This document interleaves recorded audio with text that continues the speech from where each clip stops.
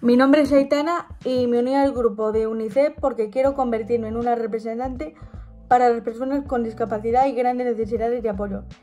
Considero que el clima, el cambio climático y la discapacidad deben estar unidos porque las personas con discapacidad no tienen mucho conocimiento sobre el tema. Considero que la accesibilidad cognitiva no está muy desarrollada de todo en estos planes porque los medios que se ponen a disposición no tienen en cuenta otras necesidades comunicativas y del desarrollo.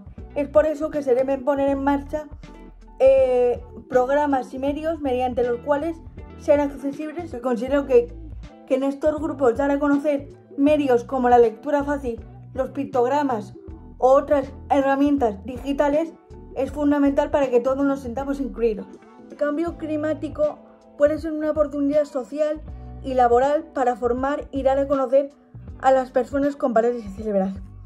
Además, puede ser también otra herramienta para que cuando se habla mediante el cambio climático de ciudades eh, amigas del mismo, también se incluyan a los medios de transporte como accesibles, además de adaptarlos a las necesidades de consumo mínimo.